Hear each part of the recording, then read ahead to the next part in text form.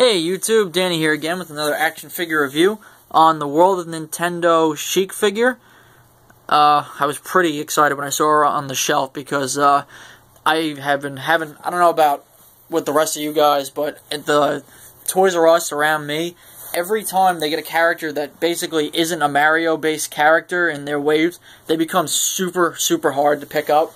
I mean, we'll get wave after waves where it's just tons of Marios on the shelf, or a Diddy Kong, or a Luigi, but finding the Samus, or the Fox, or uh, Link figures, they're like so hard to find. They're like never there, so the fact that she was up on the shelf and everything, just sitting there, I like jumped at the opportunity to grab them because I know the restocks aren't as great in my, at least my area. But, uh, yeah, so pretty excited about it. Uh, looking pretty good in the packaging so far. And again, the harps over here, and they're not doing the uh, the mystery packaging anymore, which eh, kind of a bummer, but you know, it is what it is. Uh, nice picture of Link up here, and we'll go to the back. And they're in the wave again with the Mario, Bowser, Waluigi, Cat Luigi, and um, again with the uh, the harp kind of talking about it.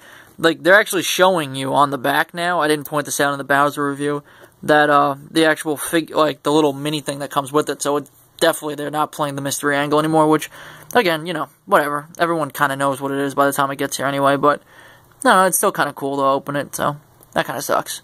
But uh, in the back, head movement, arms, and legs. So uh, let's crack it open and check them out. Alright, so here we go into the packaging, and uh, pretty much the same articulation that the uh, the Link figure had. And uh, that's not a complaint at all. It's pretty good, actually. Uh, the paint overall looking pretty good. And uh, not a bad figure. I like it. Uh, arms go up decently high. And the whole swivel around.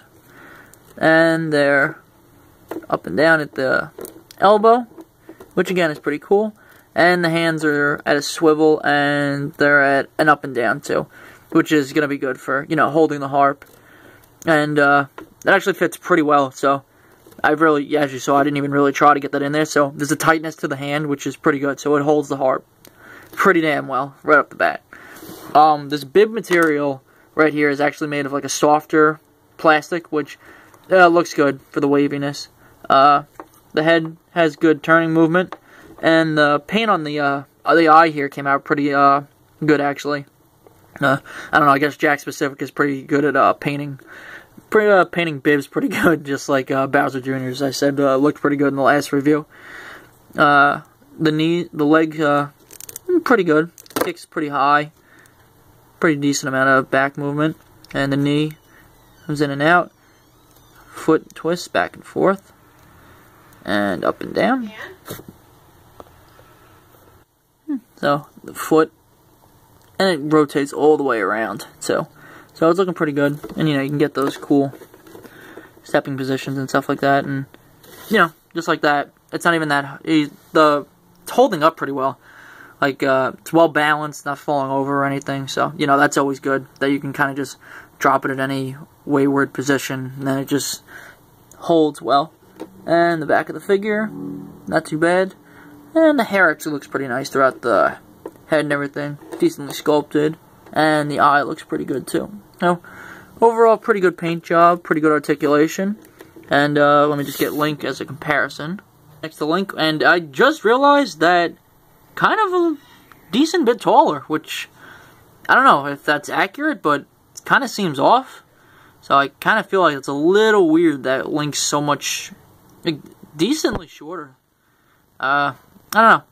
I wish Link was a little taller, because he's kind of the same height as Mario, which kind of drives me crazy, but whatever. But again, um, not a bad figure at all. Uh, definitely one that you're going to want to get if you're going to want to get your Smash Brothers figures, you know, set up all together. So, great positive review. And again, like I said, with this whole harp thing right here, it's looking pretty good. Easy in the hands and everything. So, definite pickup. And I'm going to say this is probably the best figure that's going to come out in this wave. Even though that Bowser Jr. was still pretty awesome. So, definite pickup. Uh, hope you have a good day. See you.